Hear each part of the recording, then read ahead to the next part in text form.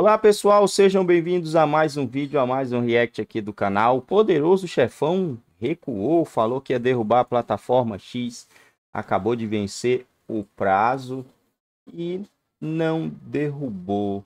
Deu prazo de 24 horas e todas as vezes que ele deu prazo de 24 horas, se eu não me engano, ele acabou cumprindo aquilo que falou, mas diante, diante do Elon Musk, não cumpriu. E agora? Ou cumpriu, né? Porque agora, no momento que eu estou gravando o vídeo, é 8 horas no horário de Brasília e é exatamente agora que ele teria que derrubar. E vamos analisar essa matéria aí para a gente entender quais as consequências se realmente isso acontecer aqui no Brasil. A batata começou a assar e ficou até queimada agora. De acordo com o site Metrópolis, Moraes já decidiu derrubar a rede social X no Brasil diante do suposto descumprimento de Elon Musk das ordens expedidas pelo STF. Mas a maneira como o ministro vai formatar a decisão é que ainda carece de acertos. Moraes estaria apreciando quatro hipóteses. Uma delas seria o ministro tomar a decisão de maneira monocrática, ou seja, individualmente. A segunda alternativa seria tomar a decisão monocraticamente, mas levá-la plenário logo em seguida, a fim de que seja referendada por pares. A terceira opção seria, antes de decidir monocraticamente, levar a plenário para julgamento presencial. Se essa for a escolha, o caso será apreciado pela Suprema Corte apenas na próxima semana. A quarta forma seria o ministro apresentar o caso em julgamento plenário virtual no STF nesta sexta-feira ou até mesmo no fim de semana. A ideia de trazer os pares para a decisão seria uma forma de mostrar que o ministro tem respaldo dos demais colegas do STF.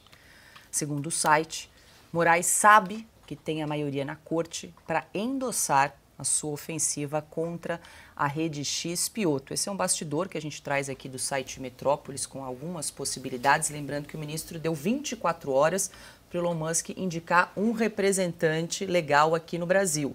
Essas 24 horas deve se encerrar nas próximas horas e aí ele disse que vai banir o, a plataforma. Mas, mas, daí seria o quê? Um recuo? Ué, ele deu 24 horas e agora ele está considerando levar para o pleno. Ele não faz isso em quase nada das decisões que ele tomou em todos esses inquéritos, o que deveria fazer. Aliás, os inquéritos nem deveriam existir. Puxa, eu tenho que repetir isso toda hora, porque este é o pecado, o pecado original. É ali que está todo o problema que nós estamos vivendo hoje. E este pecado original, aí vale lembrar que foi a criação do inquérito das fake news lá em 2019, foi referendado ah, por 10 dos 11 ministros. O voto divergente foi só do então ministro Marco Aurélio Mello. Só. Todos os 10, claro, foram lá e aceitaram. A partir daí vieram outros inquéritos e tudo que você está vendo aí.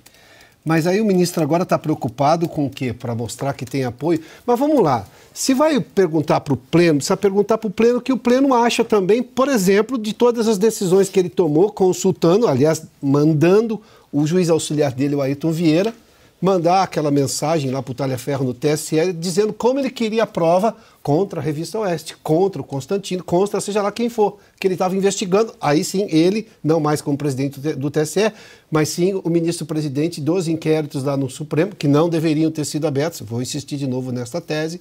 Esse é o pecado original lá de 2019, que, digamos, muita gente silenciou. Aí ele, ele não tem que mandar esse assunto também? Claro que precisa mandar esse assunto também. O que os ministros pensam sobre isso? Não é para ouvir elogios, não. É para dizer se aquilo é ou não constitucional. Óbvio que não é. Se aquilo é ou não crime. Tudo indica que é. Você vai lá e manda fazer uma prova do jeito que você quer, sendo que é você mesmo quem vai julgar, porque o ministro Barroso já se manifestou recentemente. Ele disse assim: não pode tirar o, o, o ministro uh, Alexandre de Moraes do caso, não. Ou seja, o ministro Barroso disse: um juiz pode julgar um caso em que ele mesmo é citado. Nesse caso, parte parte acusada ele vai julgar se ele é ou não culpado. Quer dizer, é, eu sei que parece loucura, mas enfim, tudo, tudo parece loucura depois disso. Então, a, a questão é, ele está recuando, ele está com receio, é, porque, ué, se deu prazo, então tira do ar e, e assume as consequências. não deveria chegar a esse ponto. Muito pelo contrário, nós já falamos aqui dos números do Twitter e, e, e obviamente, de o porquê que o Elon Musk não está cumprindo a ordem de tirar o perfil do ar, porque não tem devido processo legal, não está amparado na lei, num inquérito que não deveria existir, nenhum juiz que não deveria estar à frente de um inquérito do Supremo Tribunal Federal de um assunto que não é do Supremo. Tudo isso. Aí, ah, mas agora sim, o ministro está coberto de razão, porque a empresa tem que ter um representante no Brasil. Não, mas ele está coberto de razão num negócio completamente encoberto de razões, ou seja, de ilegalidades, de abusos. Esse é o ponto. Não, pode, não podemos esquecer a essência, de onde sai, de onde como é que se abriu a caixa de Pandora? É ali, ali. Como é, de onde começou a sair tudo aquilo que nós estamos vendo hoje? Como ele está investigando né, o comportamento da célula criminosa que ele chefiava, composta por dois juízes, auxiliares e um perito, Isso. ele não pode consultar essa turma, porque seria ao, ao caminho. Essa é mais uma outra forma. Ele, ele, se não tivesse saído dessa série de reportagens, ele poderia recorrer à criatividade do perito e eles, entre aqueles sinaizinhos de risadas, eles poderiam encontrar alguma saída. A outra é se internar num hospício e pedir que os, que os companheiros de, de moradia uh, de, deliberem sobre isso, porque isso é coisa de louco, né? Isso é coisa de maluco. Quer dizer, deu 24 horas e agora ele vai dar quanto? Quantos minutos ele vai dar para que o Supremo delibere se ele resolver consultar? Depois consultar por quê? Porque quer transformar em cúmplices. Tá certo. Eles se, se agiram como cúmplices ao comentarem a, o começo da série de reportagens. Não, ele só investigou os investiga já investigados. Tudo mentira. Tudo mentira. Agora, o que esperar de alguém, de um juiz, que está investigando um, irregularidades que ele ordenou? Ele está investigando e querendo punir os que cumpriram as ordens dele. É a mesma coisa que no julgamento de Nuremberg, eles tiveram de criar novas leis, porque ninguém esperava que os nazistas fizessem o que fizeram. Então, não, não como é que você vai é, é, prever num código qualquer é, que, que não se pode uh, cometer um, um, cometer um crime que tenha como vítima, vítima uma raça inteira, um povo inteiro, você acabar com os judeus. Ninguém previu uma coisa dessas. Usar gás, né, matar com, obrigar os próprios encarcerados, lá os prisioneiros, a matar e sepultar. Não, isso não passava pela cabeça de ninguém. Tiveram então de fazer isso e discutir se nesse caso a lei poderia retroagir em desfavor do réu. Tiveram de usar a imaginação. Imagine se num julgamento qualquer você tenha, se nesse julgamento de Nuremberg aparecesse o, o Hitler querendo analisar o comportamento ali do Goering, do Goebbels, tal, e bravo com os caras. O Alexandre de Moraes deu as ordens cumpridas pelos juízes e pelo perito. A ordem é dele, o investigado é ele. Ele não só quer investigar ali quem vazou, esse seria o único crime, não o que ele fez e também, enquanto isso, ele encontrou tempo neste agosto para fazer o diabo. Ele cuidou do caso, ele impediu a publicação de. A, a, a, proibiu o, o Felipe Martins de dar qualquer entrevista. Já avisou. Acrescentou mais uma, uh, mais uma proibição às outras tantas aí que já pesam contra um inocente. Ele tá, teve de, de tratar do caso de Roma, do bate-boca de Roma. ele ficou to tomando mais, tomou mais medidas absurdas enquanto ah, o Brasil inteiro esperava que ele apresentasse alguma justificativa sobre o crime que realmente nos interessa. Ele prendeu ilegalmente, criminosamente, centenas de brasileiros e certamente fica irritadíssimo com a hipótese da anistia. Ele vai precisar da anistia. Silvio, antes da gente seguir aqui com mais assuntos, porque tem muita atualização uh, sobre esse tema, deixa eu te ouvir sobre essa apuração de que o ministro Moraes já teria decidido pela derrubada, até porque, uh, pelas respostas, né, pela postura de Elon Musk, a gente leu aqui, trouxe agora há pouco a nota da Starlink dizendo que se é, congelarem, já foi congelada né, as contas, os recursos financeiros da empresa, eles vão fornecer internet gratuitamente, ou seja, o Elon Musk não vai uh, indicar nenhum representante legal no Brasil. Agora, a questão que se traz é como que o ministro vai formatar essa decisão de, de banir ou suspender a, a Rede X. E tem mais, ele segundo essa apuração, ele estaria buscando aí a anuência, a concordância aí dos demais ministros para chancelar Tomara. e endossar aí essa decisão, Silvio. Vamos lá, vamos dividir aqui em rapidamente em alguns pontos. Bom, primeiro, será que o Supremo Tribunal Federal tem 11 ministros? São 11 cadeiras. No passado, até havia uma analogia, eram 11 ilhas. O Supremo era um, era um arquipélago. Hoje em dia, não mais. Hoje em dia, aparentemente, eles estão fechados em quase todos os assuntos. Mas a pergunta que fica é. O que é que passa neste momento na cabeça dos outros dez ministros? Quando eles é, se deparam com uma lista encabeçada pela China, Coreia do Norte, Venezuela, Irã, Turcomenistão, Nigéria, Mianmar, Venezuela e de repente Brasil. Como é que eles imaginam o Brasil nessa lista? Ainda mais o Brasil, que tem esse número que você trouxe agora há pouco de usuários, 22 milhões. Isso é mais do que a população de Minas Gerais. Isso é mais do que a população do Chile, da Holanda, do Equador, aqui de cabeça. Mas provavelmente tem países até mais simbólicos na geopolítica mundial do que esses que eu citei. Essas pessoas estão sendo punidas por um único homem, pelo ministro Alexandre de Moraes. Um único homem decide punir mais de 20 milhões de pessoas. E aí a informação que você traz, Paula, é os ministros é, estariam de acordo, estariam respaldando, é, Moraes estaria buscando uma forma, a, a melhor alternativa para tirar o X do Brasil e colocá-lo, colocar o país que tem 212 milhões de habitantes, segundo o último IBGE divulgado, nessa lista ao lado da China, da Coreia, do Irã, de Mianmar, da Nigéria, do Turcomenistão e da Venezuela. Não é uma boa lista. Não é a lista que esses 200 milhões de brasileiros gostariam de estar. Não só os 22 milhões de usuários do Twitter. Tem alguns elogiando o ministro. Pois bem.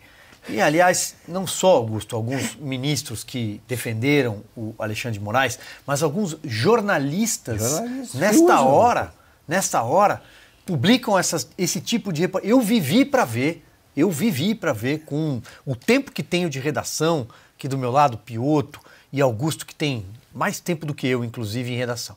Eu vivi para ver jornalista comemorar censura. Isso é algo que eu não tinha noção, não tinha ideia.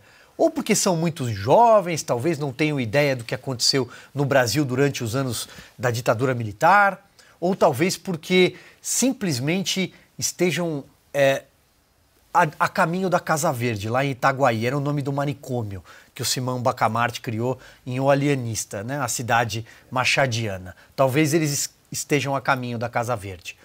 Paula, em relação a Starlink, um breve trecho aqui. A Starlink abastece a região norte, sobretudo no Brasil, é uma região carente. É internet, é plataforma, é melhorar a vida das pessoas. Então, não são só os 22 milhões de usuários do Twitter que nessa hora serão punidos. Provavelmente são alunos de escolas. Sim. Serão punidos. E aí o Elon Musk se apressa e diz assim: quer congelar as contas? Congela. Tá tudo bem. Eu vou dar de graça. Ele tem brigas maiores na vida, talvez. Ele, ele tem um foguete, ele tem as maiores empresas do planeta. Ele é bilionário. Eu não gosto de falar assim porque me parece porque me parece um pouco com aqueles jornalistas que gostam de chamá-lo de bilionário para dizer que isso é pejorativo. Não, ele ganhou com o suor dele. Mas ele tem talvez outras encrencas no mundo para comprar. O que ele está tentando fazer é simplesmente mostrar para o mundo, do alto da prateleira dele, do alto da força que ele tem, o que é que está acontecendo aqui do ponto de vista de cerceamento de liberdade, de perseguição e de caçada às liberdades constitucionais. Porque talvez, e aqui finalizo, ele tenha mais respeito pela nossa Constituição do que o que o ministro Alexandre de Moraes está fazendo. Diga, Piotr, desculpa, você queria não, fazer não, um só, só, só dizer o seguinte: a tua perplexidade e a minha aumentam diante do seguinte: entre esses 22 milhões de usuários do X, existem um, é, é, é, de bom tamanho a turma que usa para elogiar o, o que faz o Alexandre. Pois bem, esses caras estão apoiando o, pro, a, o, o, silenciamento deles próprios. Eles, a censura imposta a eles, isso é uma censura gigantesca. Eles estão felizes. É verdade. Que eu não sei se é insanidade, se é falha de caráter, se é um monte de coisa junto. Agora, é só se a minha menção é, veja só o tamanho do Elon Musk. A NASA recorreu ao Elon Musk esta semana para resgatar dois astronautas que estão no espaço e que o Elon Musk vai mandar uma nave com dois lugares vagos para trazer os dois de volta, porque a NASA está com um problema para trazer esses dois astronautas de volta. É, o que tem feito o ministro Alexandre de Moraes pelos brasileiros, só pelos brasileiros. Não, veja só o tamanho. E não é uma questão de novo aqui, óbvio que o Brasil tem leis, que todo mundo que vem para cá tem que seguir leis, mas desde o começo eu vou voltar a um ponto que o Silvio fez. Bom, pessoal, é isso aí, aposta dobrada, né? Dobrou a aposta mais uma vez. Tá tendo um acúmulo aí, né? O poderoso chefão tá tendo um acúmulo de apostas dobradas, uma hora, isso aí vai dar ruim. Todo mundo que eu vi fazer esse tipo de coisa é, em qualquer lugar, né? Em qualquer coisa, quando você dobra muito a aposta, no final você perde. No final a casa fica com tudo e você perde. Ainda, na verdade, o negócio é que não há mais tempo, né? O único tempo que daria para para fazer agora é pedir para sair, pedir exoneração e anistia. Não vai acontecer. Não vai acontecer. Acho difícil. É uma pessoa quando tá nesse nível aí de sei lá o que mental, né, cara? Complicado, né? Pedir para sair. Rapaz, tirando a plataforma X, o Brasil vai perder muita credibilidade. Risco de sanção. Risco de sanção não, vai sofrer sanção, principalmente se o, Trump vencer, né? Aí o Brasil sofrerá sanção. Aí eu quero ver. Não vai ser mais o Pacheco lá, o presidente, né? Mas aí eu quero ver em que vai ser sustentada a permanência de disso aí que a gente está vendo em que será sustentada a permanência. Ah, não, ele vai ficar porque ele está cumprindo o quê? Qual vai ser a desculpa? Ah, os Estados Unidos sancionou por. Não me venha com esse papo furado de verde. Esse papinho, essa lorotinha cola lá pro verde. O Brasil não. Muito esquerdista nesse momento. Muito. Vai ter aquela massinha que pega o papelzinho ali todo fim do mês e vai defender a tomo fechado até o fim. Por quê? Porque pinga alguma coisa, né? Não adianta falar que não pinga porque pinga. Você vai prejudicar o país inteiro. Tirando essa plataforma, prejudica o país inteiro. E muito canhotinho tá esquecendo a guilhotina que você tá usando agora. É a guilhotina que você tá usando agora em algum momento da história ela vai ser usada contra você. Não se esqueça. Não esqueça disso. em algum momento da história você estará no mesmo paredão em que agora você está colocando as outras pessoas, porque até o, o todos, todos ditadores, todos tiranos da história, no final se deram mal. Se não todos, a maioria deles, né? Ah, não é todos, mas a massa esmagadora deles. No final da história foi triste. Foi triste e a tendência é que essa também seja triste, porque são mais de 200 milhões de pessoas.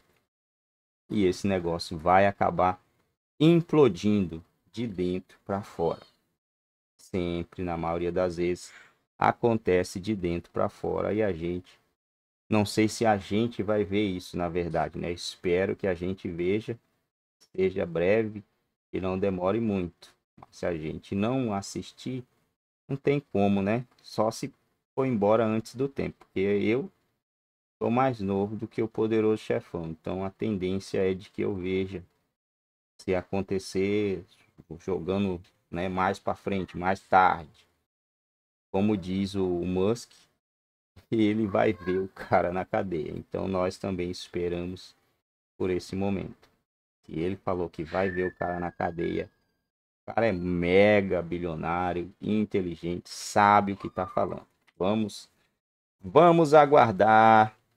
E o legislativo nada faz de joelho e não venha depois querer pegar mérito em cima da obra do povo, né? O povo tá vendo todo mundo aí tá vendo quem tá se movimentando, quem não tá no momento certo, quando esses caras aparecerem pedindo aperte o meu botão, né? Aperte o botãozinho aqui ao meu favor. O povo já vai falar: "Não, meu irmão, você não. Você não. Temos que colocar pessoas novas. Muita gente tá com medo do Marçal aí, mas vai fazer o quê? O que vai fazer se não for colocar o Marçal?